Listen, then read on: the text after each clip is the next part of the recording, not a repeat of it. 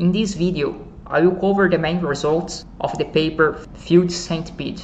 The paper was written by Huerta and Volij and it was published in American Economic Review 2009. This is a diagram of how the centipede game works. The game starts with a white player. He has two choices, continue or stop. If he stops, he gets $4 and the black player gets $1. If he continues, now black player can choose continue or stop. If the black player decides to stop, he'll get $8 and the white player will get $2. If the black player decides to continue, now the white player has a choice to continue or stop. Let's go to the last node of the game. The black player can continue or stop.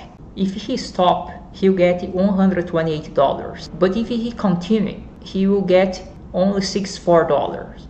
Therefore, it's irrational for the black player to continue. The white player knows this using backward induction. Therefore, from the perspective of the white player, it's irrational to expect to receive $256. The white player has no incentives to continue because it's better to stop and you receive $64 than continue and you receive $32. The conventional economic theory assumes that the people are rational maximizers and predict that nobody will play continue. But when behavioral economists run field experiments, they capture that the most part of students continue the game. See that in the first node, only 7.5% of the students stopped. And in the second node, only 15% of the students stopped. And in the third node, 35% of the students stopped. Now let's see how chess players play the centipede game. All grandmasters stopped in the first node. They are the economic agents described by the economic theory. International masters are less rational. Not all stopped in the first node. 76% of international masters stopped in the first note.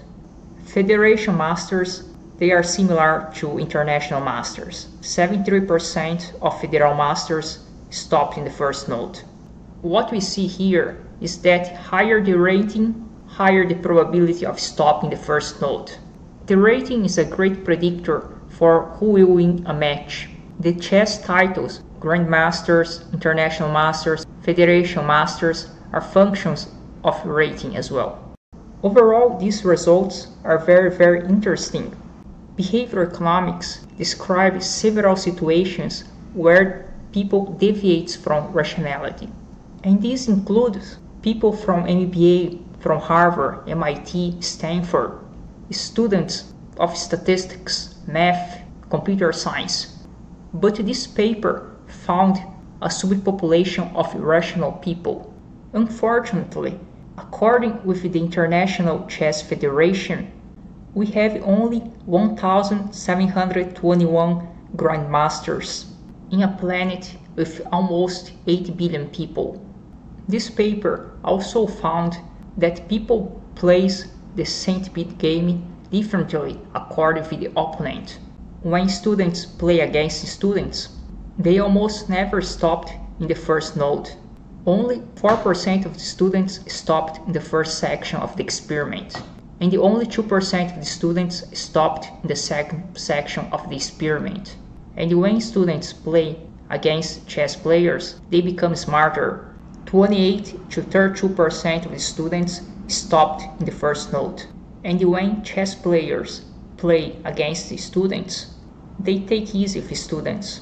Only 37-38% of chess players stopped in the first note. But when chess players play against other chess players, this rate increased dramatically to 69% to 76%.